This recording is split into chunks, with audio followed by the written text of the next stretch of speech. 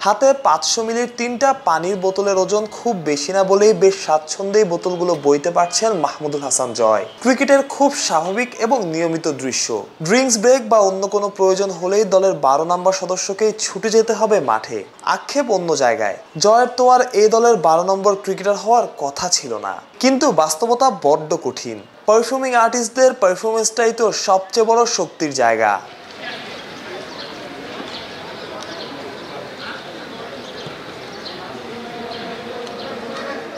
West Indies এ দলের বিপক্ষে প্রথম আনঅফিসিয়াল টেস্টের দলে জয় ছিলেন। দুই ইনিংস মিলিয়ে করেছেন কেবল বাইশ রান।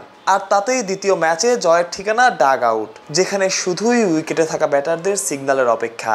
ডাকেলেই ছুটে যেতে হবে মাঠে। জয়ের আসলে সমস্যা কোথায়? প্রথম টেস্টের প্রথম ইনিংসে যেভাবে আউট হয়েছেন, ঠিক একইভাবে ডিপিএল এর একটা ম্যাচে আউট হয়েছিলেন। স্টাম্পের বাইরের বল খোঁচা দিয়ে। মার্ক করার মতো ব্যাপার হলো ডিপিএল এর ওই আউটের আগে একইভাবে ভুল করে জীবন পেয়েছিলেন জয়। সেই ভুল থেকে জয় তো শিক্ষা নিতে পারেনি ঢাকা থেকে সিলেট এসেও করেছেন ওই একই ভুল।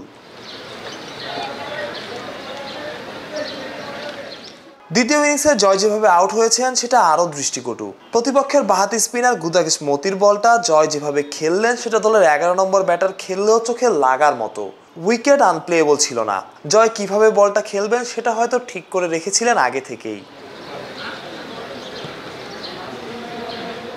জয়ের কথা উঠলেই চলে আসে যুব বিশ্বকাপের গল্প। জয়সওয়ালদের ভারতকে হারিয়ে জয়রা জিতেছিল শিরোপা। অথচ আজ কোথায় জয়সওয়াল আর কোথায় নিজেকে খুঁজে বেড়াচ্ছেন জয়? জয়সওয়ালের কথাই যেহেতু আসলো, সেহেতু তার দুই হাজার তেইশ আইপিএল এর পারফরমেন্সটা একটু নজর দেওয়া যাক। গড় স্ট্রাইক রেট সবকিছুই নজর করার মতো। পুরো ক্রিকেট দুনিয়ার নজর যে জয়সওয়াল কাটতে পেরেছেন, তাতে কোনো সন্দেহ নাই। জয়ের চেষ্টার কমতি নাই, কিন্তু দুর্বলতা এক্সিকিউশনে এক একজন কোচ পরামর্শ দেবেন এক এক রকম। নিজের জন্য কোনটা ভালো সেটা জয়ের নিজেরই বুঝতে হবে।